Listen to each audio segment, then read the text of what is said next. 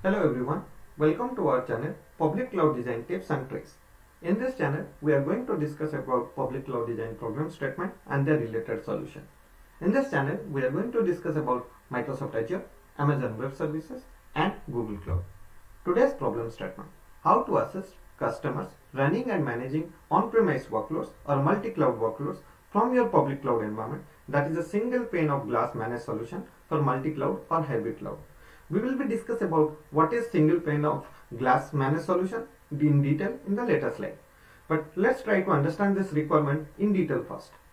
So let's you, in your organization you have you are following multi-cloud or hybrid cloud strategy. In that case, you have to manage or you have to govern or you have to deploy your related infrastructure for uh, your public cloud uh, environment separately and your on-premise environment separately or your multi-cloud environment separately. How can you achieve all these three capabilities for all these three different environments like on-premise or multi-cloud or your own cloud or your edge in a single pane of mode like with a single window you can achieve that. That is the base requirement. To achieve this Microsoft has provided Azure Arc, AWS has provided AWS Outpost and Google Cloud has provided Google Cloud Anthos. So let's try to understand. In this diagram as you can see cloud resources in Azure are managed and governed through Azure Resource Manager. And ARM is a service layer for Azure that acts as a control plane that provides developers and operational personnel with deployment, management and, govern, uh, and governance capabilities through the Azure portal or Azure Cloud Shell or Azure policy along with role-based uh, access control. So with these capabilities, with Azure ARM control plane, you can achieve deployment, management and governance capabilities for your Azure resources. What if, if you have your multi-cloud environment, like in your multi-cloud environment, you have different cloud vendors, right? If you have your on-premise environment, then you have your on-premise infrastructure. How can you achieve that with a single pane of glass, with a single window? How can you maintain all these three capabilities for all these three different environments? To achieve this, Microsoft has provided this solution Azure Control Plane, uh, Azure Arc.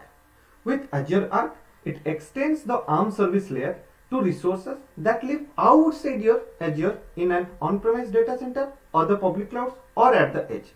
That means it will extend the ARM capabilities outside your Azure area. That is your multi-cloud environment, that could be AWS or your on-premise system.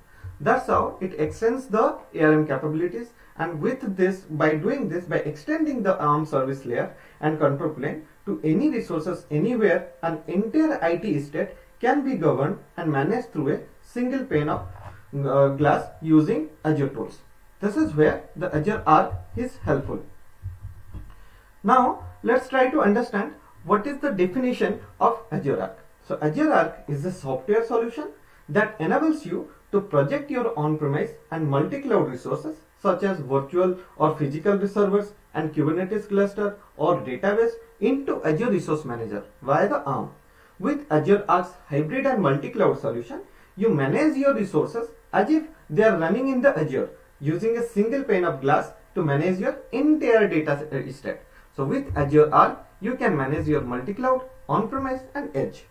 Azure Arc offers simplified management, faster app development and also consistent Azure services. It also easily organize, govern and secure Windows, Linux, SQL Server or Kubernetes cluster across data center, the edge and also the multi-cloud environment. With Azure Arc, you can design and build cloud native apps anywhere without sacrificing central visibility or control. With Azure Arc, you will get the central visibility or control. That is the power of Azure Arc.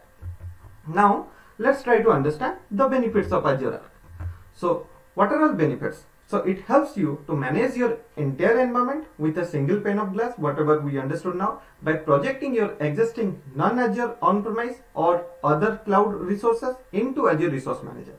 And it also helps you to manage your virtual machine, Kubernetes cluster and database as if they are running in your Azure environment. Although they are outside Azure environment, but with Azure Arc, it will behave like they are running in your Azure environment. It also uses familiar Azure services and management capabilities regardless where they are currently living.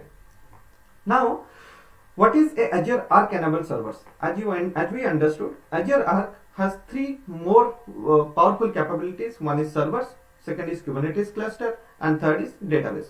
So let's try to deep dive into it. What is Azure Arc enabled servers? Azure Arc enabled servers enables you to manage your Windows and Linux physical server and virtual machine hosted outside your Azure on your corporate network or other cloud providers. So let you have few virtual machines in your Azure environment, few virtual machines your on-premise and few virtual machines in AWS. Then with Azure Arc, you can govern or you can monitor or you can deploy the uh resources from your uh, one environment that is your Azure environment. So this management experience is designed to be consistent with how you manage native Azure virtual machine. So the, the same capabilities, the, the way you are managing your Azure native virtual machine, the same way also you will manage your on-premise virtual machine as well as the AWS virtual machine. When a hybrid machine is connected to Azure, it becomes a connected machine and it is treated as a Azure resource, as a resource in Azure. Each connected machine, generally after the connection via the Azure Arc, it will provide you a resource ID which enables the machine to be included in your Azure resource group. So I will show you how does it look. Inside a single resource group, you will find your on-premise machine, you will find your native machine and also you will find your AWS machine. Now, what is Azure Arc enabled Kubernetes? With Azure Arc enabled Kubernetes, you can attach and configure Kubernetes cluster located either inside or outside your Azure. So if you have a Kubernetes cluster which is running in Azure, you have another Kubernetes cluster which is running in your on-premise system.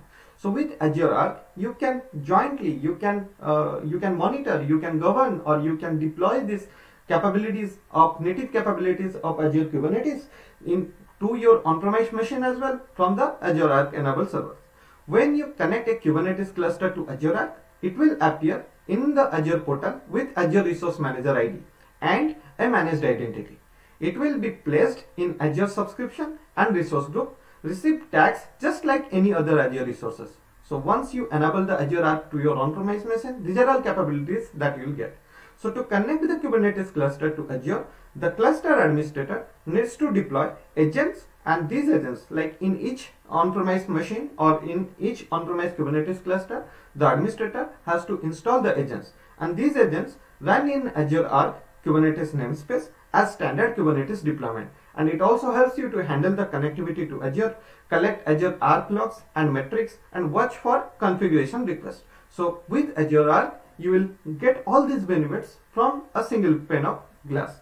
Azure Arc enabled Kubernetes supports industry standard SSL to secure data in transit. Also, data at rest is stored encrypted in your Azure Cosmos DB database to ensure data confidentiality. So the, the uh, Kubernetes cluster which is at your on-premise with Azure Arc enabled Server, it will uh, help you to enable the SSL at rest as well as at transit. This is what whatever we have discussed about Kubernetes in a diagram. So as you can see here, customer location that is your on-premise location, Azure Arc enabled Kubernetes agent has been installed and this Kubernetes agent has been linked with uh, Azure Arc enabled Kubernetes servers and with this you will get all these capabilities like identity RBAC policy monitor defender all these native capabilities of azure you will find it with your on-premise server. This is the power of azure arc. Now what are azure arc enabled data services? Azure arc makes it possible to run azure data services on-premise at the edge and in public cloud using kubernetes and infrastructure of azure choice so if you have your database which is an on-premise, that also you can link to Azure Arc and with this you will enable the on-premise databases to be linked with your Azure Arc and you can monitor it. Currently, the following Azure Arc enabled data services are available like SQL Managed Instance and PostgreSQL Hyperscale which is in currently preview.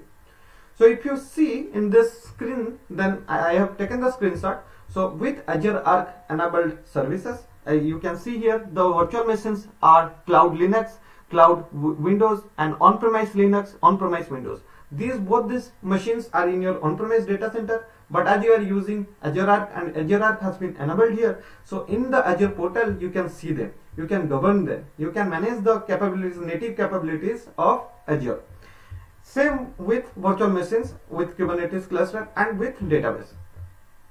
Now one of the most powerful thing is the governance capabilities. As you can see here, the compliancy and governance capabilities can be monitored for all your infrastructure, irrespective whether they are in Azure or in on-premise or in public cloud other vendors like AWS.